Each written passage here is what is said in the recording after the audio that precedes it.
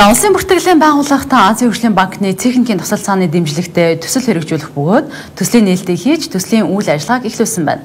Энэхүү төсөл нь сумдад эд хөрөнгийн эрхийн болоод хуулийн этгээдийн улсын бүртгэлийн үйлчилгээг цахимжуулах, нэвтрүүлэх замаар төрийн үйлчилгээг бэхжүүлэх, төвлөрлийг сааруулах зорилготой юм байна. Ирэх оны 12 дугаар сар хүртэл хэрэгжих энэхүү төсөл нь Азийн хөгжлийн банкны техникийн тусалцааны тусгай сангийн боцолтгүй тусламж хэлбэрээр санхүүжих юм. Төслийн хүрээнд улсын бүртгэлийн байгууллагын технологийн болон цахим шийдлийг сайжруулж чадварыг бэхжүүлснээр 200 гаруй сум 500 мянга гаруй хүн ашиг шимийг нь хүртэх боломжтой гэсэн тооцоолол гарчээ.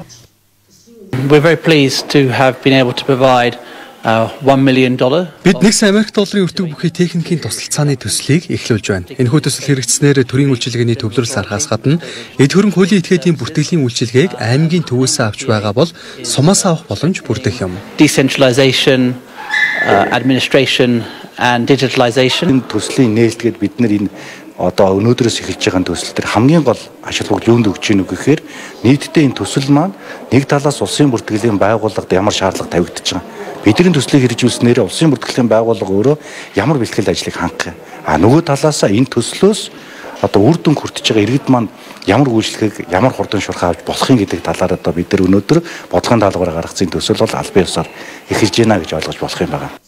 Төслийн хүрээнд улсын бүртгэлийн бүх үйлчлэгийг анхан шатны нэгжис үзүүлэх системийн чанарыг сайжруулах, захим сүлжээний нууцлал, аюулгүй байдал, хэвийн найдвартай ажиллагааг хангах, тоног төхөөрөмж програм хангамжийг шинжлэх юм а.